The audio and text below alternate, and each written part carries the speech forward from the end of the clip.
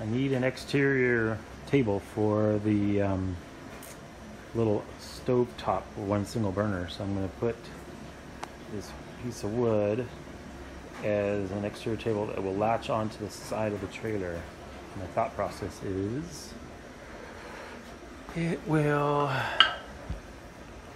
hook on to the trailer with this PVC pipe.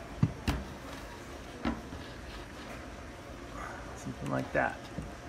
And then I'll have a piece of wood on the top and one on the bottom. And yeah, that's what we're gonna do. Just gotta put this, give it a little character right here. And one on the bottom. Stay tuned.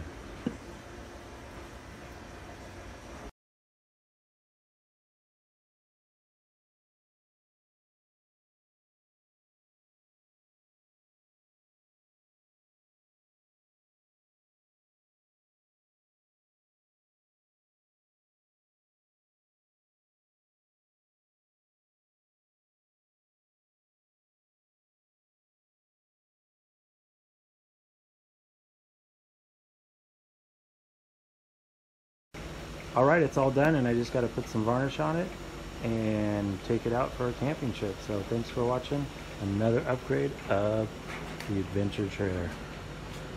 Take care, everybody.